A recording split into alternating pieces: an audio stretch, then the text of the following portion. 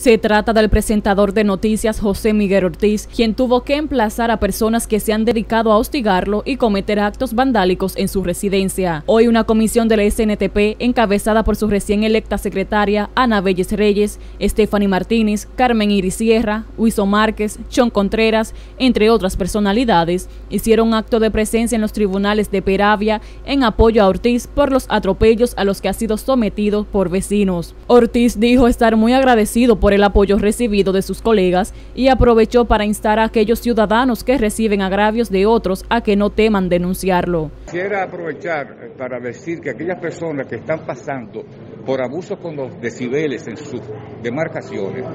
eh, que, que, se hagan, que vayan, a la, que vengan a la fiscalía y que vengan al juzgado de paz, porque este, si yo permito que a mí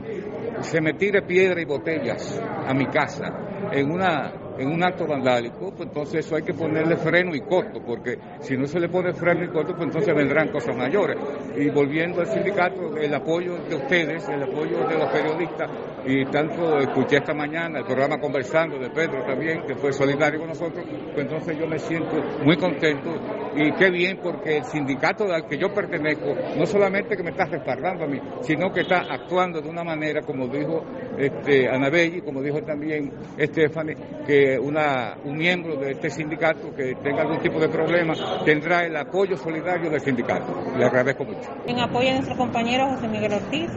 cariñosamente el compañero de la base, quien ha sido víctima de vandalismo. Entonces estamos aquí para apoyarlo y eh, para que sepa que siempre estaremos con él en todo, todo, todo este proceso. Pienso además, le hago un llamado a la policía, a la justicia, de que deben garantizar la integridad física del compañero José Miguel Ortiz,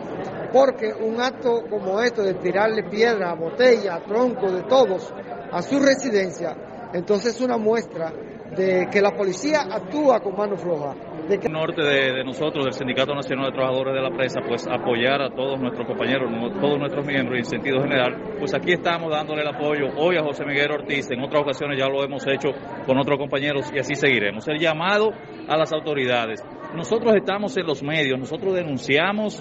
las cosas que están mal hechas, que deben de corregir las autoridades y no merecemos este tipo de acciones como la que le ha tocado al compañero José Miguel Ortiz. Estamos aquí porque todos somos uno en el SNTP. Esto es una demostración de la unidad, esta es una demostración de que queremos nuestro sindicato, porque hoy todos somos José Miguel. Que un agravio en contra de uno de los trabajadores de la prensa es una ofensa y un maltrato a toda la clase comunicacional. Al mismo tiempo queremos aprovechar para hacerle un llamado a la Policía Nacional para que asuma su rol de velar por garantizar el orden y la tranquilidad de nuestra comunidad en todos los sectores, porque precisamente este inconveniente que se ha suscitado se ha debido a la falta de autoridad de la que tenemos nosotros en nuestra provincia Peravia. Peravia Noticias se une al apoyo ofrecido a nuestro compañero José Miguel Ortiz Melo y espera pronta solución a estos inconvenientes.